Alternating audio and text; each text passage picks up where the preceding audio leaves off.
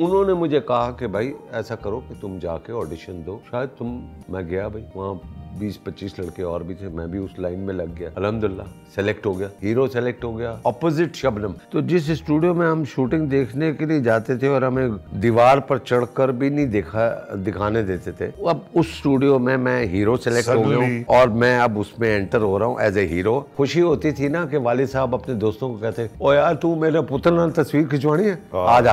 तो वो लेके आते थे तस्वीरें खिंचवाते थे तो मुझे खुशी होती थी।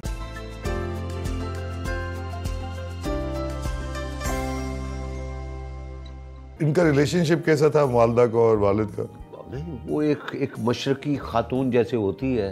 लड़ाई वड़ाई कोई खास नहीं चुप रहना। चुप रहना वो हाँ। जो कहते हैं ठीक बाप दबदबा वो ऐसा था कि वो सारे ऐसे थे।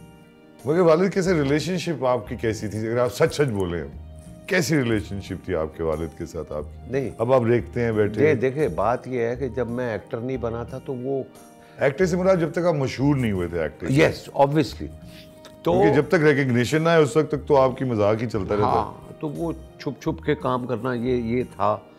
वो फाइनली जब आ, आ, एक फ़िल्म बन रही थी धमाका। 1970 इब्ने सफी वाली? यस 70 यार आप इमरान वाला रोल कर रहे थे नहीं मैं इमरान वाला नहीं कर रहा था। इब्ने सफ़ी साहब ने एक स्पेशल रोल लिखा था ज़फ़र मुल्क का। वो मैं कर रहा था और मेरे साथ जेमसन का रोल मौलाना हिप्पी साहब कर रहे Right. तो खैर वो फ़िल्म बन बनी नहीं। नहीं बनी नहीं सर तो सुनो वही तो कह रहा हूँ। वो फ़िल्म धमाका शुरू हुई तो उनको शबनम हीरोइन थी उसके अंदर। रहमान साहब उसमें थे लहरी साहब थे। हीरो के लिए एक लड़का चाहिए था। तो उन्होंने ऑडिशन करना शुरू किया।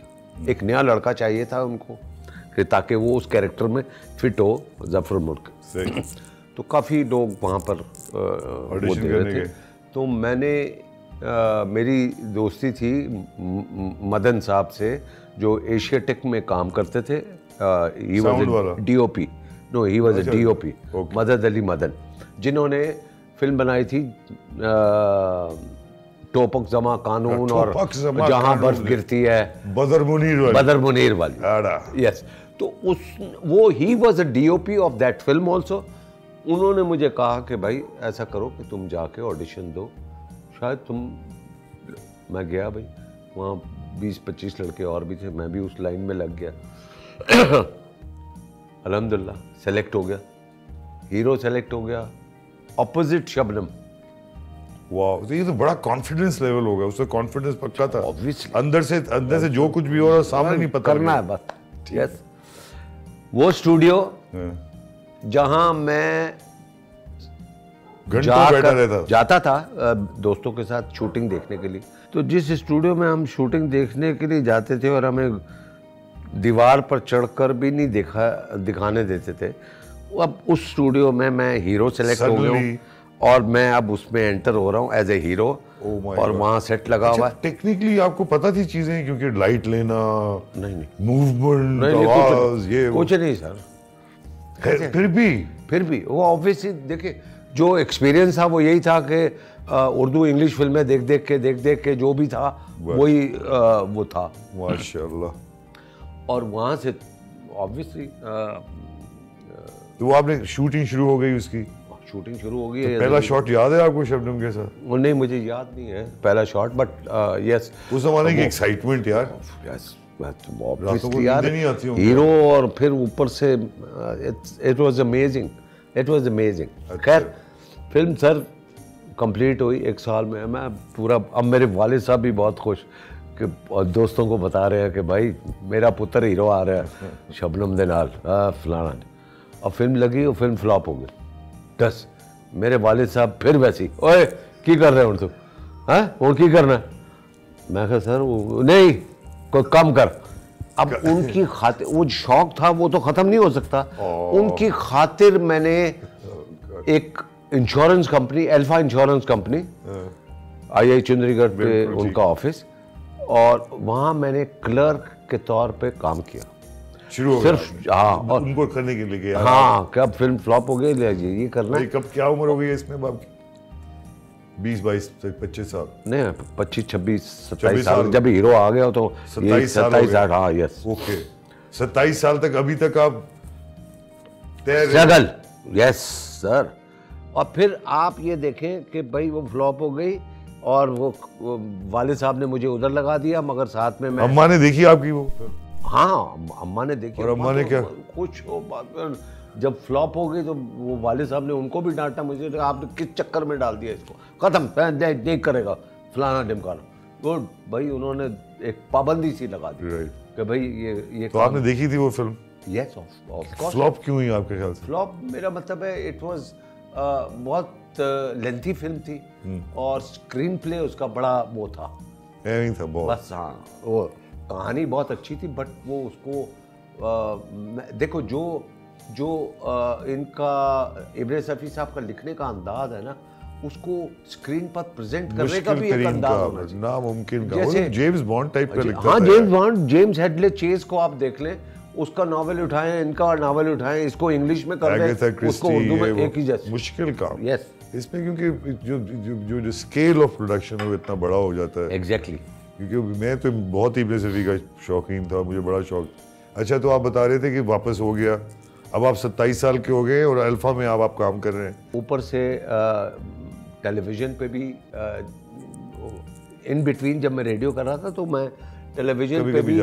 मैं देखिए मेरा पहला टेलीविज़न पे जो था ना साजिद वो भी सिफारशी एक्टर था। और रेडियो पाकिस्तान में अफगानी आफ्ताब अफगानी साहब थे। उनसे मैंने कहा यार आपका कोई जानने वाला है? तो मुझे टीवी पे ज़रा शौक होगा। तो उन्होंने फ़ोन किया मोहसिन अली साहब को। मोहसिन अली साहब उस वक्त बना रहे थे इंसान और आदमी। इंसान और आदमी में हीरो तलत हुसैन साहब।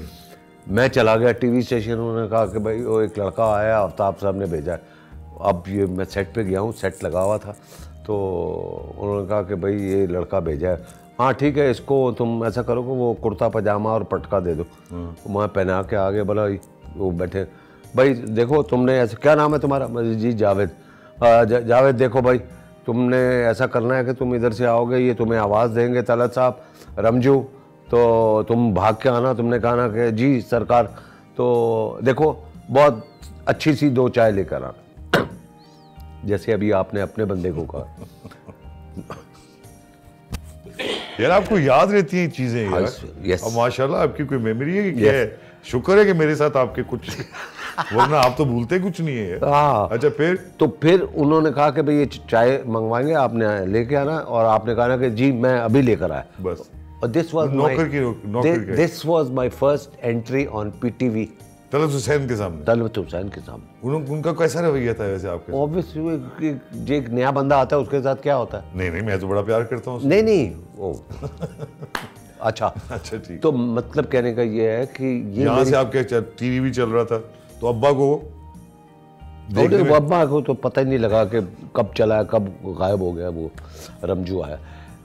अब्बा को तो बड़ी बड़ी चीज़ें जब मैं सुपरस्टार बन गया। सुपर नहीं सुपरस्टार कहाँ फ्लॉप हो गया ना वो तो वो सारा कुछ हो गया। साथ में वो फिर इसी तरह इसी तरह टीवी पे वो क्षमा बन रहा था। क्षमा बन रहा था तो क्षमा में मुझे हाँ जी उसमें हीरो सेलेक्ट हो गया उसमें भी ऑडिशन था। हाँ। लाइन में लगा हुआ मैं सेलेक्ट हो गया और मैं हीरो बन गया। ठीक है। बस दैट वाज द टाइम जहाँ से जावेद शेख बनना शुरू हुआ। क्षमा उसे। धमाका में मेरा नाम था जावेद इकबाल। राइट एक्चुअली मेरा पूरा नाम जो है वो शेख जावेद इकबाल। यार अल्लाह का शुक्र है आपका नाम जावेद इकबाल उस तरह से। आपको पता ना वे किस नो उसमें तो फ़िल्म भी बनी हुई है जस्टिस भी है। हाँ तो खैर वो शेख जावेद पूरा नाम ये था। तो जब मैं टीवी पे आया हूँ तो मैंने कहा यार जावेद इकबाल तो फ्लॉप हो गया था तो इन इसको शेख को जो शुरू में है इसको इधर ले आओ।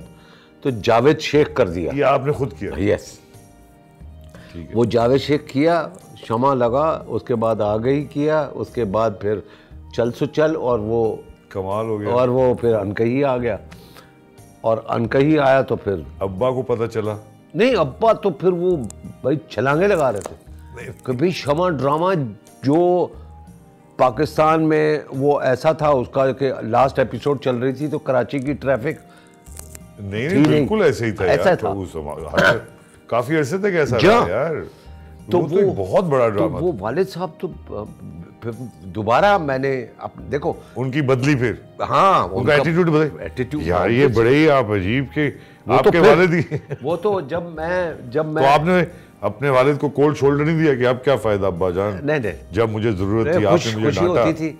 वो खुशी होती थी ना कि वालिद साहब अपने दोस्तों को कहते ओ यार तू मेरे पुत्र नाल तस्वीर खिंचवानी है? हाँ। आ जा। तो वो लेके आते थे तस्वीरें खिंचवाते थे। तो मुझे खुशी होती थी कि मेरे वालिद साहब अब मुझे सक्सेसफुल देख के खुश हो रहे हैं।